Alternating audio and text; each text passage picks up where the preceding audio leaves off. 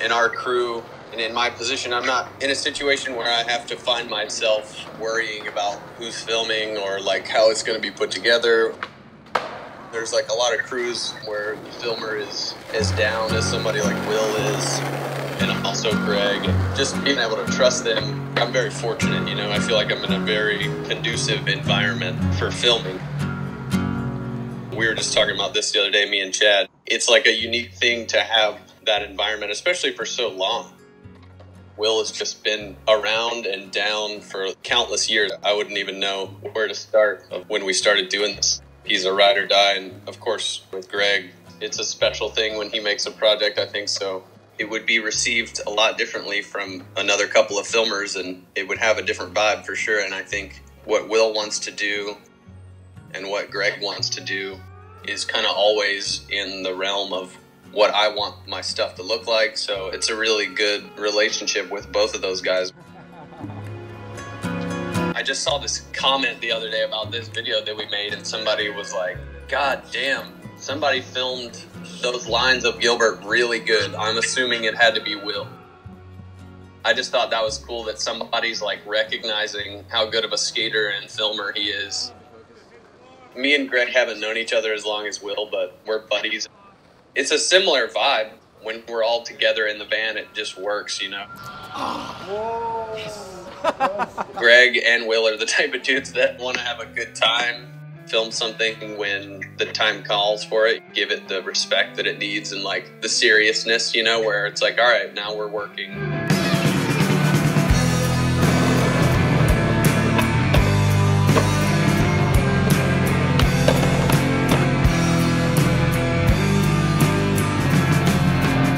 Look at Greg as more of like a mentor, you know. He's introduced me to a lot of different parts of the world that I wouldn't have known about without him showing me, or whether it's art or music or movies. So much for destiny, a pinprick on my knee. The frost you paint across our dead I was always into workshop, but uh, Mind Field freaked me out, changed my thinking process about skating. It's different when photosynthesis is on the TV and you're like, okay, this was made before I started skating or like the year that I started skating. When Mind Field came out, something switched in my brain where I was like, dude, I want to do something different. I'm so inspired by this.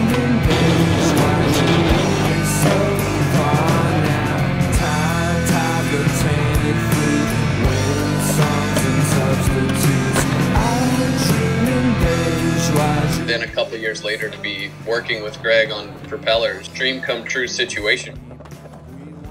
You want to give somebody like Greg your best and you want to like be as honorable as possible just because I personally know how much Greg puts into his work, how much it means to him. And he understands that that's what it takes to make something good, in my opinion.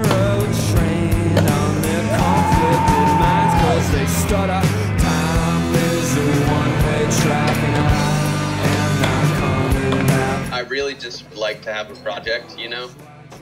At the end of every video that I've made where you're working on it for a long time, generally by the end of it, I'm kind of exhausted.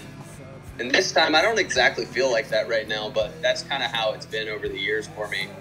I kind of get to the end of the project and I'm like, oh my God, I need a breath of something else. But right now, I don't really feel that way. I do get a lot of personal satisfaction. I don't think I keep my old video parts in my head that much.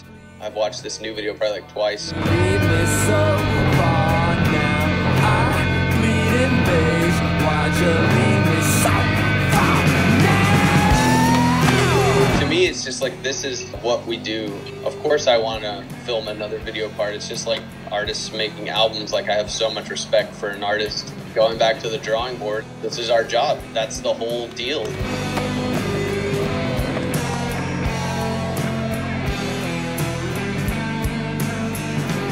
It's sad some of these younger kids don't get it, and they probably won't ever get it the way people in my age group do. It's like tradition at this point. I've even heard people talk about it in recent months. Like, uh, we're making a traditional video, we're doing it old school, we're filming video parts, and it's like, how is that now an old way of doing professional skating? That shit trips me out when I hear people talk like that. Or when I see younger dudes that are so good at skating and they don't care at all about street skating or filming. I can't understand it. I want to understand it, but I'm like, dude, it's kind of dark.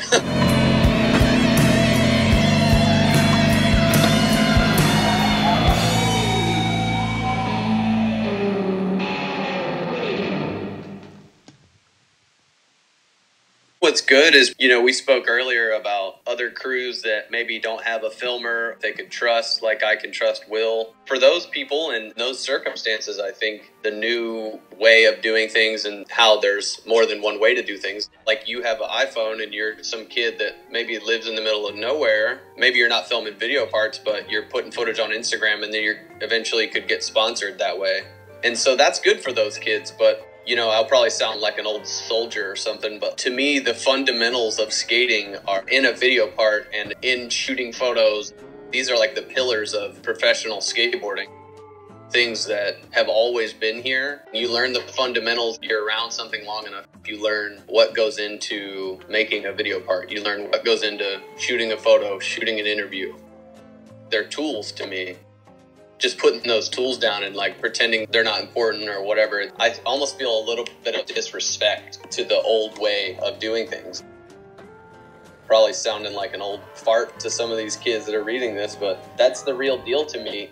That's what you do. Like, what are you practicing for? Or what are you going to the skate park for? What are you learning new tricks for? It's all to get it on film or to shoot a photo of it. I'm just trying to not put out something that's exactly like I already put out. I don't want to just like bore people or myself, even if it's just a little bit different than the video part before, as long as I can have some movement on the needle. That's what excites me, and hopefully, keeping myself interested in skating and excited about it. Hopefully, that keeps other people interested in my skating too.